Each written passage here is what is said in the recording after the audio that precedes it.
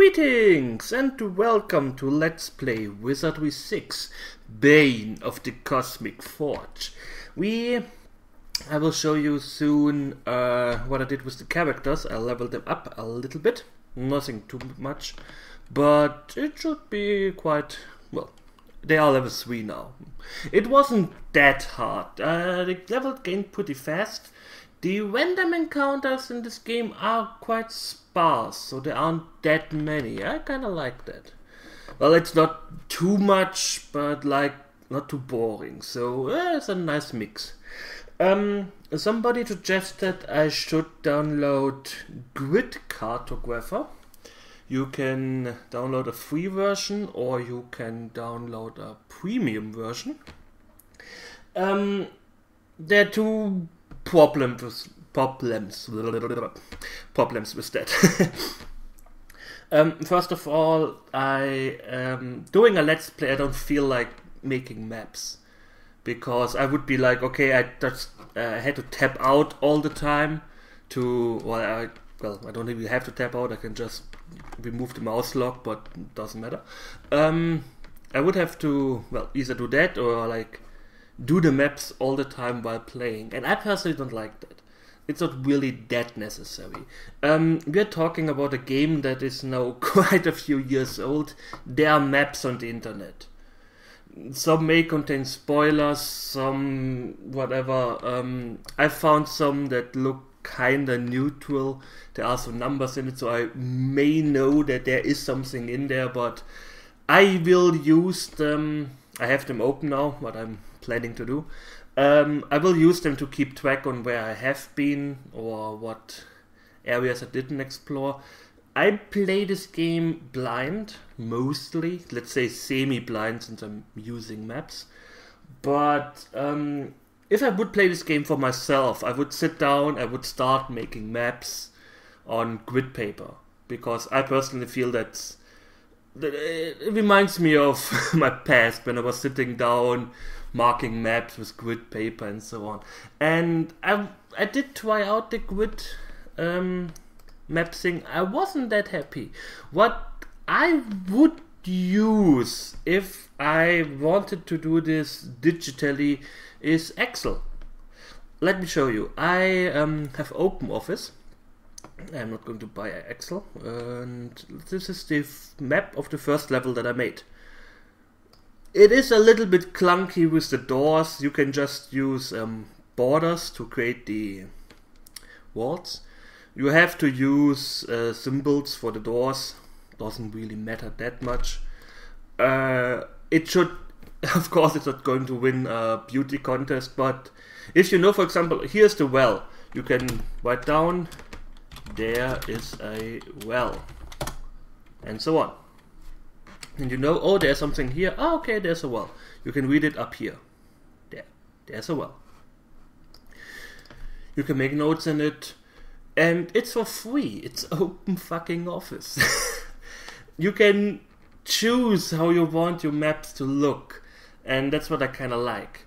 So if I do this on grid paper, I I sometimes draw a little staircase or just make an arrow going up the U and D you saw here is up and down. Um, before you prepare your map, you should put a space into every cell because otherwise the your nodes will overlap to other cells and you don't want that. And yeah, that's how I would do maps. So uh, thanks for the suggestion with good map maker thingy, but not doing a let's play. And if I do it for myself, I use grid paper or Excel if there is no grid paper. So, anyways, um, like I said, I have the maps ready for the first few levels. I plan on exploring the castle a little bit more. Like I said, I have no idea what actually what I have to do. Let's get I want this. I have no idea what this background sound is all the time. Um, someone else suggested a new DOS or different DOSBox version to reduce some popping noise. Um, I I'm not sure if I heard that before beforehand in my first video, but I did use the new DOSBox version, and this is now the game quotation mark patched with the DOSBox version, which reduces or removes the sound popping. No idea. I have to say this background stuff is annoying. boom, boom. What is this? Is it sounds like is this music? I hope. So. I really hope not. Anyways, everybody is level three now. I have 35 kills on my name, and one Sir has 19. Lipa has 13. Nianu has only three. Tim has 3 and Gilvan has 15. She is cracking quite a punch with a quarterstaff in the back. That's quite amazing. Um, we got a few new spells, of course. Uh, Nianu got, she started with Sleep. She has the Charm spell, which is useful for NPC encounters.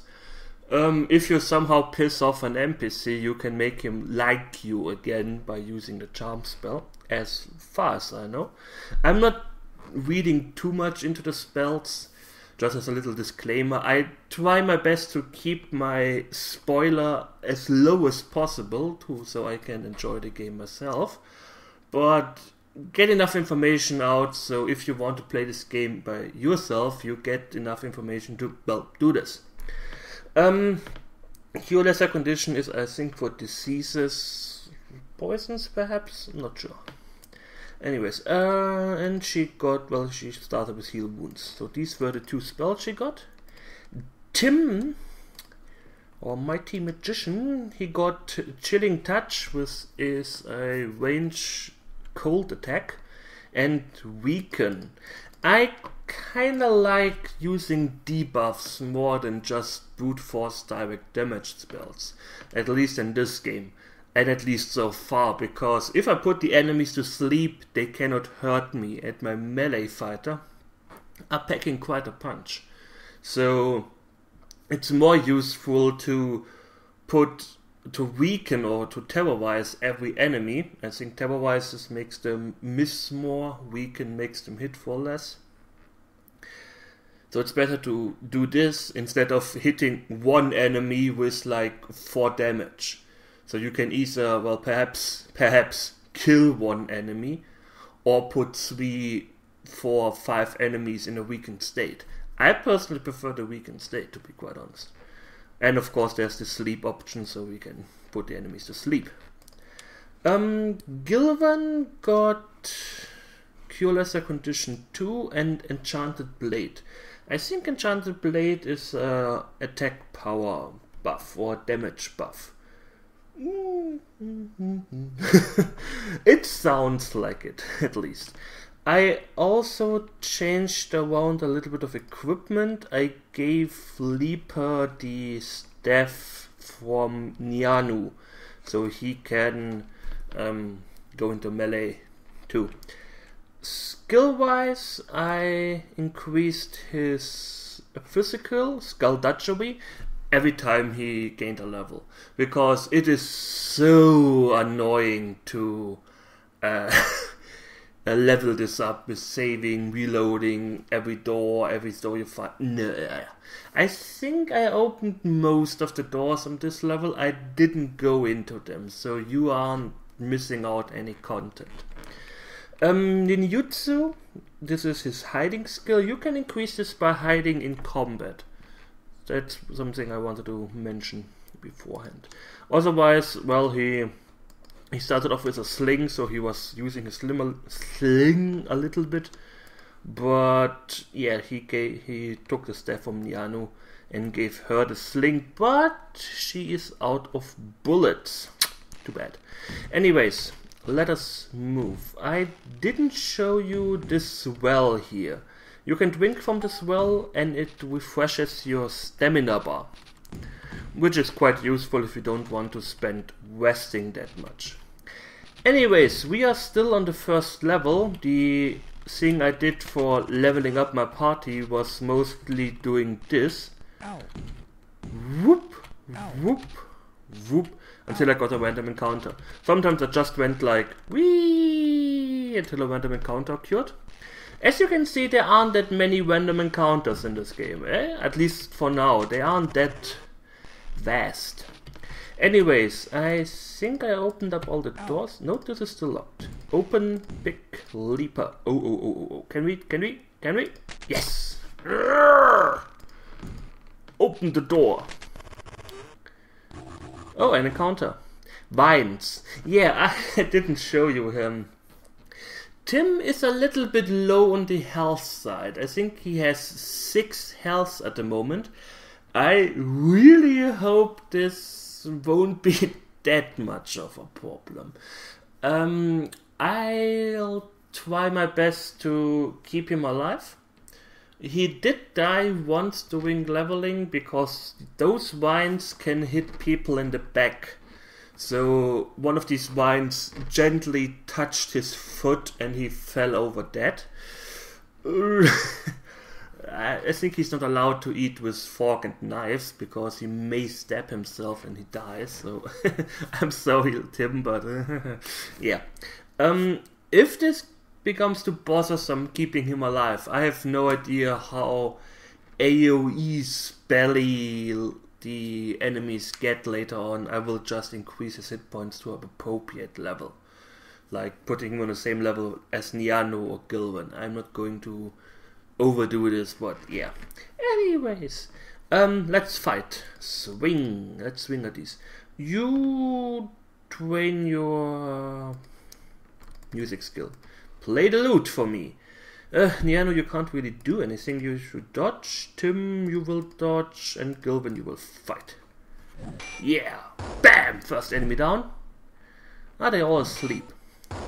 As you can see, yeah, party is put. Vines are really, really weak enemies, so um, that's what I mostly grinded on. Um, another thing, you can see they were moving beforehand, but since I played the lute and they are sleeping now, you also see they are sleeping. They are not moving anymore. And you can see down below here, you we have one creeping vine, but zero of them are actually able to do combat. That is quite nifty. So let's wipe the floor with them.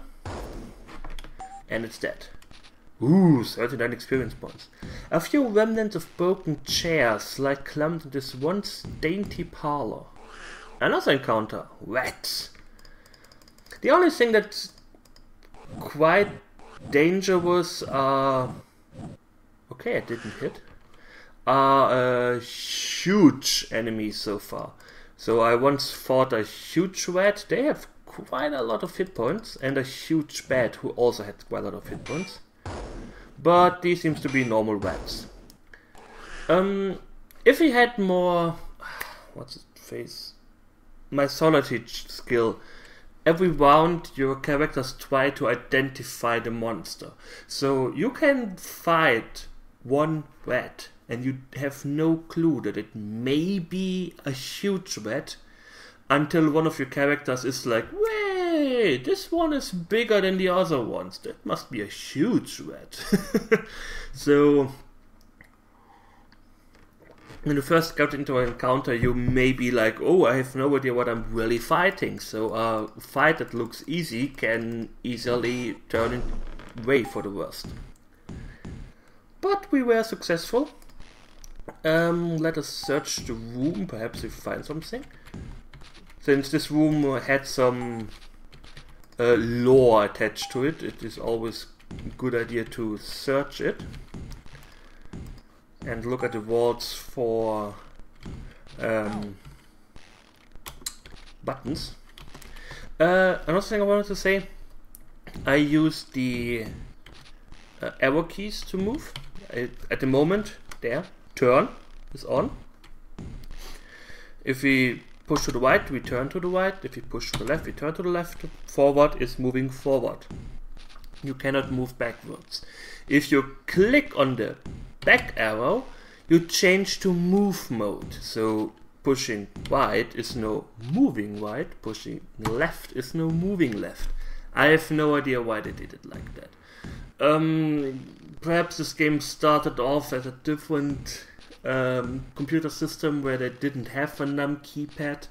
Dungeon Master used a num keypad so you can turn and strafe at the same time, mm, and it was older than this game. I don't know. I'm not that familiar with wizardry gaming lore. Um, did we open this door? Not yet. No. An encounter. Ooh, those vines creeped up on us.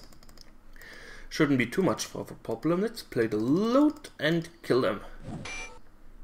Yes. I'm still kind of scared every time they actually hit me because mm, our party is still not that strong. So far the enemies I fought weren't that hard. But then again I am, you may say, abusing the lute. Because I'm using it all the time. But yeah, that's what you... Ah, damn it. Jammed. Okay, we can't... No save, zoom. We can't open this door yet. Am I moving like that? Can we open this? No. Still locked. I thought I opened up most of them. And he cannot jump. um, you can open jam doors with a key. Oh yes, uh, items.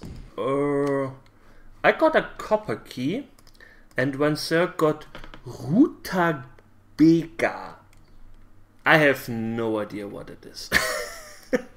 Rutabaga. Well, I, I guess I will. If I find an NPC, I will try selling it to him. Perhaps he's like, "Oh, that is so awesome." Locked. Let's save beforehand. Can we pick it? Uh, jammed. Great. perhaps I should have grinded a little bit more to gain more keys, but oh well. We haven't been in here. Keep gate closed during serving hours. Is there anything of interest? Pieces of old bone litter the ground, and deep wet stains color the earth. Okay. Nothing. Ah, lodged within the throat of a crushed skull, you discover a strange key, as if the deceased is trying to swallow it when you found one key of RAM. Oh, it goes to me. We have found a key of RAM. Nice. I have no idea what this is for. Let's see if we find something else here. If somebody knows some hotkeys for this game, I will gladly use them. So I don't have to click all it. Oh, an encounter. Two wets. Yeah, we can do this. We are the wet destroyers.